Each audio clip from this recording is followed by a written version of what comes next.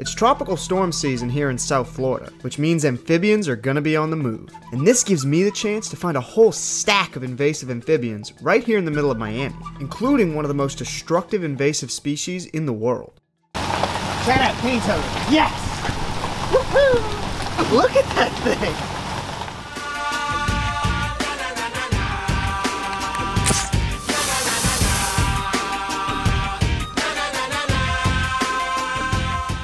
Being were on the lookout for invasive frogs, looking around urban city areas is a really good way to find them. With lots of lights and tropical gardens everywhere, it's an absolute paradise for non-native species. Now looking along the sides of well-lit buildings is a pretty good way to find tree frogs typically. You're gonna see them around your houses and stuff, and it's because of all the little bugs. Now it is raining, so I'm gonna be wanting to look around all these plants as well, because they might leave this and head into the plants as well. But it wouldn't surprise me if we saw some frogs right under these lights There's the first frog. Have a look at that little guy. This is another invasive species that lives out here. This is a greenhouse frog. They're kind of like a cricket frog. They're really tiny. Everything eats them. They're just a little brown frog. You can oftentimes see them hanging around buildings like this, just looking for bugs in the lights. Really cute little dude, but not the frog that we're looking for. But it is good to see that amphibians are out and about, moving around. Really cool little guy. Gonna put him back and keep looking for more. There's tree frog. That's gotta be cute just how big it is. Yeah. Yes! Whoop. Have a look at that little guy. That is a nice sized Cuban tree frog. They're gonna be all up and around these buildings. Very dark color. They can range in colors vastly. They can be brown, they can be kind of tannish green, one of the defining factors of them is that they always typically have a little bit of yellow on their legs. They're always puffing up. Check out what he's doing. He's filling his body with air. This is something that all frogs will pretty much do, frogs and toads, to keep from being eaten. As you can see, we're in the middle of a pretty urban area, but there's also a lot of these very tropical plants. And with it raining, we've actually got a tropical depression moving through. With this rain moving through, there's gonna be a lot of these guys on the move. There's gonna be a lot of these, spring peepers, narrowmouth toads, and uh, potentially even cane toads out. Now Cuban tree frogs, as their name suggests, come from a lot of the Caribbean islands and South America, kind of more in that region.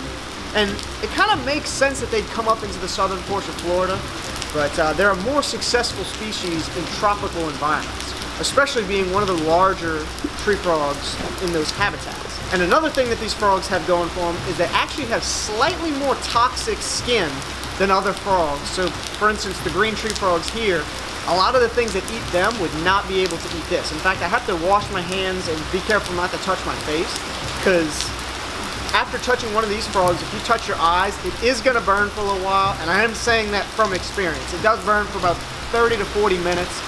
Really unpleasant experience, but it is just a slight toxin. It's nothing too bad, just wash your eyes out. But it makes it to where a lot of species actually cannot eat this frog. Look at that little guy. Now Cuban tree frogs were actually introduced here, and they're actually being introduced to a lot of major city areas here in North America. They just started getting into Louisiana, but something really interesting is happening. See, in this part of Florida, it's very tropical, very warm, and even at night it stays pretty warm. But where I'm at, it still gets a bit cold during the wintertime. So the frogs that are living there are kind of experiencing a little bit of dwarfism. Like they're not growing to full size, their colors are off. They are Cuban tree frogs, but they're not getting as big and as healthy as the Cuban tree frogs here. So it'll be really interesting to see how high up and how far north these tree frogs can go, but typically they're gonna go pretty far. They have much bigger eyes than the tree frogs in the other areas here in North America. Now something that's really detrimental about Cuban tree frogs in their invasive range is that they eat native tree frogs. They eat green tree frogs, they eat spring peepers, they eat all those different frogs. This one, like I said, is only about half grown. They'll get about twice this size, and one about twice this size will eat a frog of this size. They will eat other Cuban tree frogs, they'll eat other native species, they will just eat anything that moves.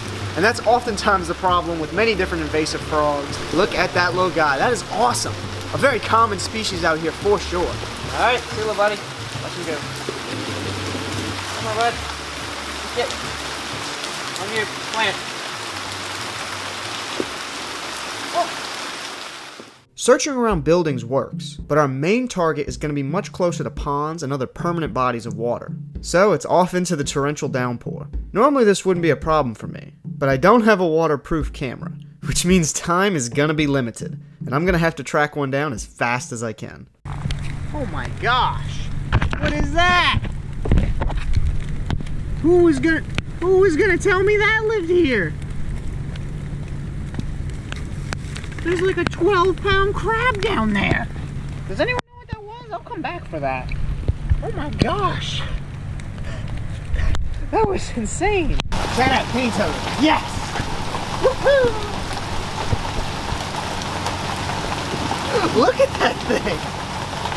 That is a trip. I did not think we were to see one tonight with all this crazy weather going on. But have a look. That thing's the size of a bullfrog. Oh my goodness. Look at his little stubby arms. This is an incredible animal. This is a cane toad. This is actually the world's largest species of toad. And you can find them right here in the middle of South Florida, right here in the middle of the cities, just in any little garden space. Now these are an invasive species. These these don't actually belong here. They pretty much have no natural predators besides crows. But uh, look at that thing. It's just, it's just huge. Really strong too. If you were to feel this animal, really, really strong and rigid. Very bumpy skin. They're not slimy like frog. Just a chunk of toad. That's hilarious.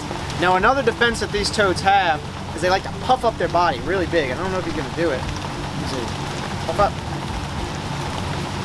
He's doing it a little bit there, but they'll just puff their body up real big to where nothing can eat them. Essentially, the cane toad's entire defense strategy is that nothing can eat it. They've got those poison glands right behind the eyes. They're a really big toad. They don't taste good. And look, he's doing it right now. See, it puffed up with there, and now he's like a balloon. And then he just deflated, just like that. Really crazy animal. They eat virtually everything. They eat other frogs, they eat smaller toads. They're a real problem out here. Now they're typically going to be found in South America. They're actually a more tropical species, and they don't get as big in this part of Florida. They actually get really big in some of the more southern areas, and they get really big, obviously, where they're originally from in South America. But the more north you go, the smaller things get. I'd have to guess it's just because of the habitat and because they're not getting as much food. But uh, it's just something you're going to see in areas like this. And when they're smaller, it can be very difficult to tell the difference between these guys and native species. We do have native southern toads, and this would eat a southern toad. He's, as you can see, it's a big old gnarly rainforest toad. And look at that. Just look at him there. He's a beefy boy. These are the bullfrogs of the toad world. An absolutely amazing find in the middle of a tropical depression. Really awesome toad. I don't know how much time we have with the camera and the lights, but basically what I'm going to be doing is taking this toad home. This is a really amazing animal, but they are invasive. But I'm going to be bringing this animal home with me. They're a really cool guy, and I actually want to try to keep a cane toad. So this is going to be the one that I keep. We do not have time out here. I can't even believe we got one, but this is absolutely amazing. Big old gnarly cane toad.